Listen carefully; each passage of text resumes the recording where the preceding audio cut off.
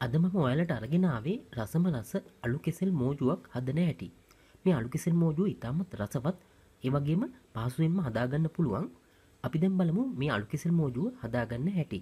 මුලින්ම මේ වගේ භාජනයකට වතුර ටිකක් දාගන්න ඊළඟට මේ වතුර ටිකට දෙහි ජුස ටිකක් එකතු කරගන්න ඕන. දෙහිගෙඩියක් මිල් කළ මේ වගේ දාගන්න ඕන. මේ අලු කෙසෙල් මෝජු හදාගන්න ඕන කරන ද්‍රව්‍යසා ප්‍රමාණයන් මම මේ වීඩියෝ එක පහලින් දාලා තියෙනවා. ඔයාලට එතනින් ඒ ටික බලාගන්න පුළුවන්.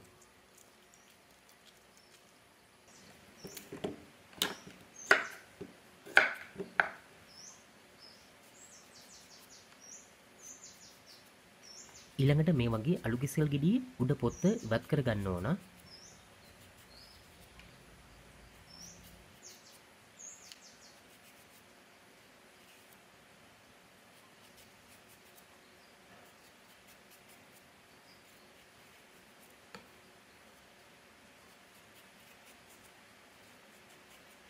උඩ පොත්ත ඉවත් කරගෙන අලු කෙසෙල් ගෙඩිය දෙහින් මිශ්‍ර වතුරට දාගන්න ඕන. ඊළඟට දෙහි මිශ්‍ර වතුරට දාගත්තු අලු කෙසෙල් ගෙඩිය මේ වගේ දික් අතට හතරට කපා ගන්න. හතරට කපාගෙන ඊළඟට කොටු හිටින්න මේ විදිහට කපා ගන්න ඕන. මේ වගේ කුට්ටි හිටින්න කපා ගන්න ඕන.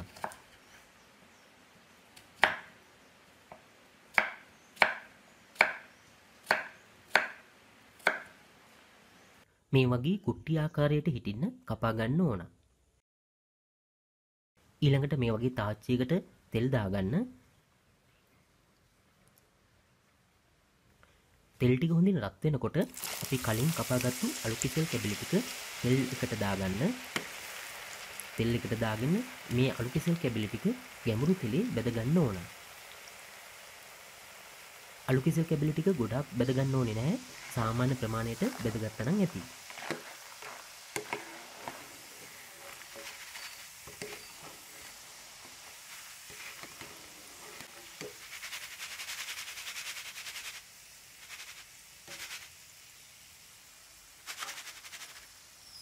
මේ වගේ අලු කිසල් කැබලි ටික සාමාන්‍ය ප්‍රමාණයට බැඳුනහම වෙනම භාජනයකට ඉවත් කරගන්න. මේ තියන්නේ මම ඒ විදිහට බැදගත්තු අලු කිසල් කැබලි ටික. දැන් මේ වගේ භාජනයකට තෙල් ටිකක් එකතු කරගන්න.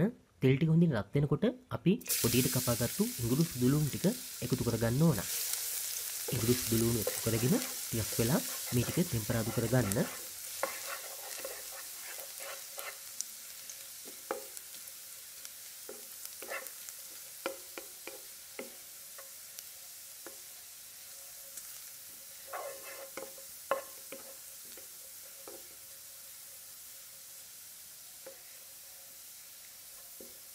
ඊළඟට මේ වගේ කුට්ටි ආකාරයට කපාගත්තු ලොකු ලුණු ටික එකතු කරගන්න ඕන.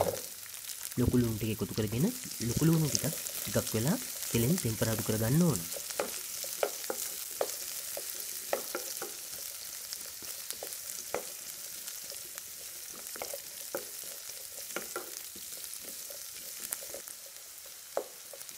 ලුණු ටික ටිකක් ටෙම්පරාදු වුණාට පස්සේ දික් අතට පලාගත්තු අමු මිරිස් ටික එකතු කරගන්න ඒත් එක්කම රම්පේ කරපිංච ටිකකුත් එකතු කරගන්න ඕන.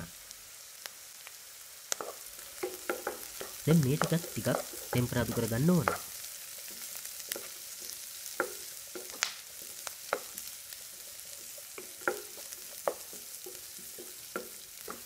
දැන් මේකට අබ එකතු කරගන්න ඒත් එක්කම උළුවහල් එකතු කරගන්න තව කුරුඳු කෙබිලි කීපයකුත් එකතු කරගන්න ඊළඟට කහ ටික එකතු කරගන්න ඒත් එක්කම මිරිස් කුඩු ටික එකතු කරගන්න ඕන. දැන් තුන පහ කුඩු ටිකත් එකතු කරගන්න. ඒ වගේම රස අනුව ලුණු ටිකකුත් දාගන්න ඕන. ඊළඟට විනාගිරි ටිකත් මේ එක්කම එකතු කරගන්න. දැන් මේ ටික ටිකක් කලවම් කරගන්න. ඒ වගේම තමයි මේකට ගම්මිරිස් කුඩු ටිකත් මේ වෙලාවේදී එකතු කරගන්න. ගම්මිරිස් කුඩු ටිකත් එකතු කරගෙන මේ මිශ්‍රණය හොඳින් කලවම් කරගන්න. මේ දාන මිරිස් තුන පහවල ප්‍රමාණයන් පහල මම ඩිස්ක්‍රිප්ෂන් එකේ දාලා තිනවා. එතනින් ඔයාලට බලා ගන්න පුළුවන්.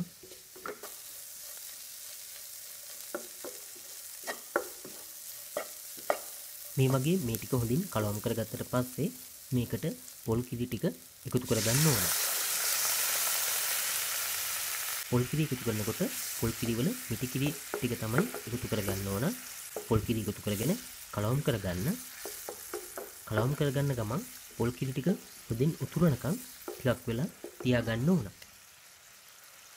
මේ වගේ පොල් කිරි ටික හොඳින් ඉතුරුවට පස්සේ අපි කලින් බැදගත්තු අලු කිසල් කැබලි ටික එකතු කරගන්න.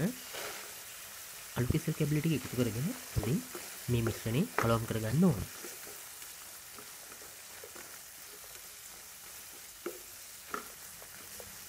මේ වගේ හොඳින් අලු කිසල් කැබලි ටික කලවම් කරගන්න.